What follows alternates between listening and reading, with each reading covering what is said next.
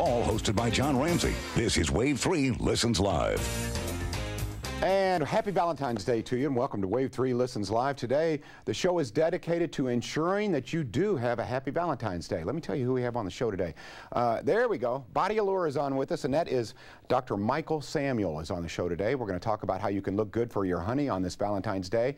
And I've been looking forward to this segment for, well, since last week. Dr. Eli Karam, who is a licensed marriage and family therapist. He is back in the house, and we've been talking about how to fight fair. And make no, there, there's no question about it. You can have the Russell Stover's heart-shaped box of candy, you can have the flowers, the dinner reservations, but if you argue with your spouse, you will ruin Valentine's Day. All right, John. So today is going to be uh, completely applicable. If, if you get out of sync tonight, we're going to give you a concrete skill. So last week we talked about taking the time out, which is part of fighting fair. Today we're going to talk about a specific technique called the speaker-listener technique, or sometimes referred to as active listening. So that gives a way for couples that are out of sync, that are starting to get heated into an argument to kind of reset and be able to connect with their partner. So I have with us here today uh, two of my students from the University of Louisville Kent School of Social Work, and they're also student members of the Kentucky Association of Marriage and Family Therapy, Beck and Matt, and they're going to kind of talk to you about a common couple fight that you might see in your own home.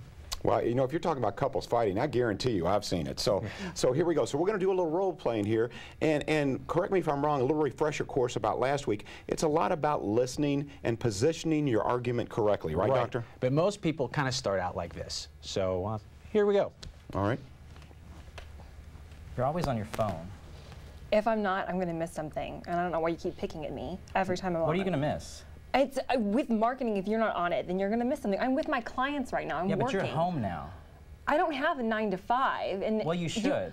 but that's not how my market works, and you know that. Every time you You're bring always this on up, your phone. You're always ignoring me. You're never paying attention to me. You're Matt, never I have. home. To, I, I'm Okay, here stop. right now. All right. What did we see there, John? Well, we saw uh, typical argument, Becca and, and, and Matt kind of getting in, talking over each other. And when, when couples really are trying to stand their ground, argue their point, it defeats the purpose of what we're trying to do. So what we don't want to do is speak in uh, kind of you language. You don't want to say you always do this, you never. That automatically makes your partner defensive. You also do not want to kind of hit below the belt or exploit any type of vulnerabilities in the relationship from the past that you know that will upset your partner. And you really can't think about solving the problem because most couples get into issues that we call perpetual issues that can't be solved. In fact, you know, almost 69% of marital and long-term relationship problems aren't solvable, believe it or not. They take acceptance and tolerance. So this skill is really about validation. So what we're going to see here now in the speaker listener technique is a different way to do it. And what will happen is one person is the speaker and one person is the listener. When you are in the speaker role, you are uh, speaking in I statements, not you. You do this, you do that. I. And generally, it's better I feel a certain way when you do this. So you're going to speak in 30 to 60 second kind of clips, John, because if we go longer than that, what happens is our partner completely tunes out. They're working on a rebuttal in their head. It They're becomes a focused. lecture. Exactly. Yeah. And, and- and so you can't speak longer than that. And uh, the job of the listener is to reflect back what's going on. They're not there to put their two cents in. They will get a chance later on. When you're in the listener role, you are trying to paraphrase back, not simply a parrot, but the most important part of what you heard your partner say. Uh, and then you're going to switch roles. And it starts kind of prescribed and it seems a little unnatural at first, but you're going to watch these guys and uh, eh, we're going to get the point across. So let's see that conversation after the timeout. Start it over and then we'll talk about it. Okay. Becca, I feel like I feel kind of lonely when you spend all the time on the phone and at work and you're just not home as much as I'd like you to be. And, and I think that's become something hard for me because of y- your job and it's, you know, I know it's what gives us our, helps us with our income and keeps us stable, but it's, I just miss you when, when you're gone so much and it's, it's been hard. It, I've been kind of feeling kind of down about it lately and I just, I don't know what to do about it. Okay. Um, I just want to make sure that I heard you right. So you're you feel lonely when I'm even when I'm there. If I'm on the phone, it's it, it hurts your feelings that I'm not paying attention to you, but instead I'm paying attention to, to the phone. Is that right? Yeah, I, I think it's just I feel like you you're. It, it feels like you're putting the, your job and phone over me and our relationship, and that just it hurts. So you feel like I'm putting my job ahead of you when I'm on my phone so much? Yeah, that's the message I get from it. yeah. Okay, okay.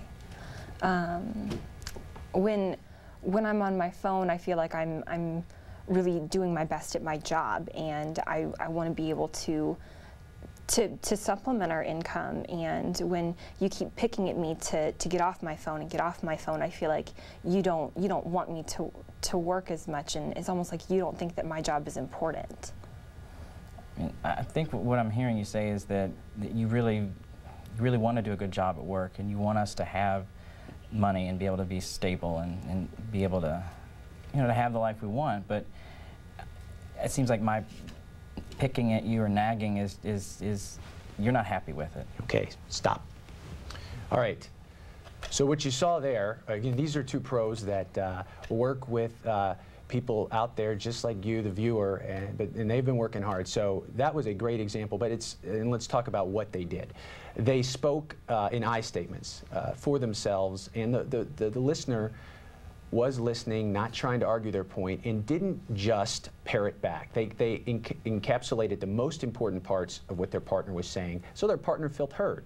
And when that happens, John, you can tell because the other partner's like, yeah, I got it. You can see by their verbals and their nonverbals. A head nod, they were making eye contact, which is also very important in this skill. If you're not looking down, you're distracted, you have the TV on, you cannot do this speaker-listener technique. So they were focused on each other, and uh, what was also very natural is they went back and forth.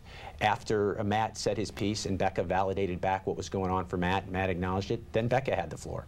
So it, it, was a really nice way to do it. I think there's a huge advantage, though, to having a licensed marriage and family therapist, obviously to referee and, and to really help people learn how to argue fairly. With that being said, let's talk about your website yep. and also how they can find a therapist that may be able to help out their relationships. There we go. It, exactly. There it is, KAMFT org and www.therapistlocator.net. So uh, any licensed marriage and family therapist, and you're going to see an LMFT after their name, and you will be able to find them on these websites, can walk you through these basic fundamental building blocks, communication skills of the speaker listener and taking a time out like we said last week. So you can learn to do it. And I always tell people, it seems prescribed at first, but if you do it, it, it can become natural like our, our two actors here today uh, who do it every day with their own clients. All right. Dr. Eli Karam, you're fantastic. Have a great Thank you for the helpful Day. hints. We're going to make sure that everyone has a great Valentine's Day. Matt and Beck, I want to thank you. You did an excellent job. Very well done. Uh, I thought they were really married. They were great. great. All right.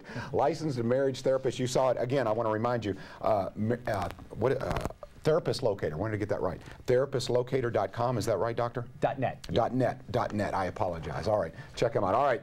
You know now how not to argue with your partner. It's Valentine's Day. Want to make sure you look good for your honey and feel confident about yourself. Body Allure is in the house. We're going to talk to Dr. Michael Samuel coming up next on Wave 3 Listens.